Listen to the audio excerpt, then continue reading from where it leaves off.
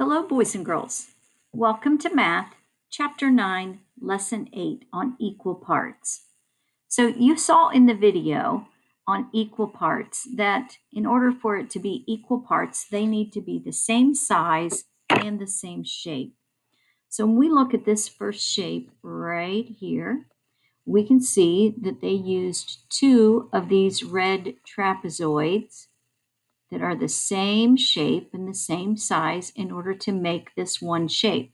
They use two of them, one here and one here, two equal parts. Okay, when you look at the next shape, the triangle here, you can see that they've drawn some lines here that would show here's one green triangle, here's another one, and a third one, and a fourth one four of these green triangles makes one larger triangle like this. So it is divided into four equal parts. And when you look at this last square here, you can see by these lines drawn here that it would take four of these orange squares in order to make up this bigger square, four equal parts.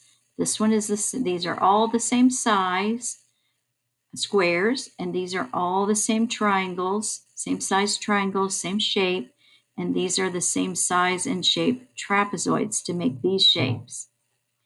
Okay, on the next page, this is just a review of our lesson here. A whole, meaning this whole shape right here. Get my pen. Oh, that's a little big. This whole shape right here can be separated into equal parts or equal shares. And you can see that would be one, two, three, four.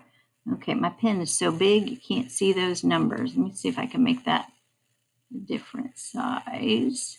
Okay, and trace this number. So four equal parts.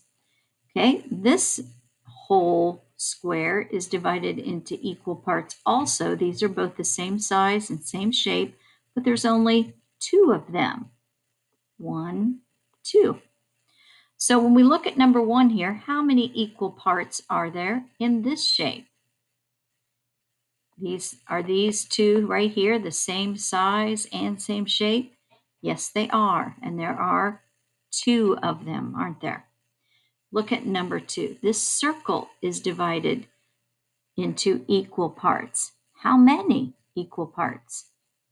Yes, four. Okay, now they want us to draw lines to show the equal parts.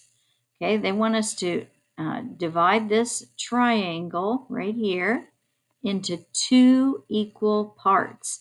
Now, in order to do that, the the shapes have to be the same size and the same shape.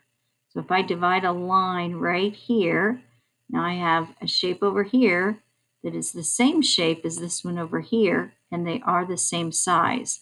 So we divided that right here between two equal parts.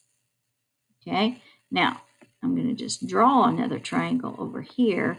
And if we drew a line here and divided, would these be equal parts?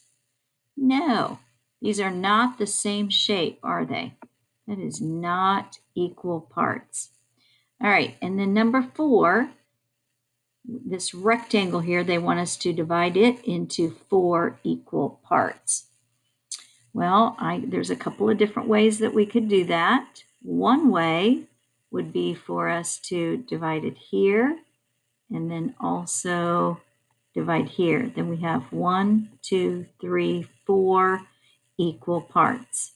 But that's not the only way. Here, let me draw another rectangle and show you that we can also divide it into four equal parts by drawing lines here and here.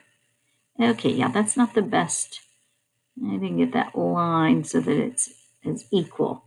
But one, two, three, four equal parts here. I maybe kind of skipped on that one right there. Okay, but that would be another way that we could draw four equal parts. So if we talk about math here, how do you know when parts are equal? Hmm. How do we know when the parts are equal?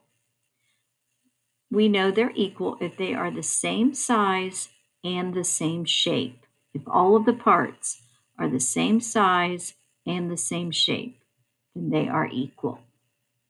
All right, so it's time for you to do your own work on the next slides.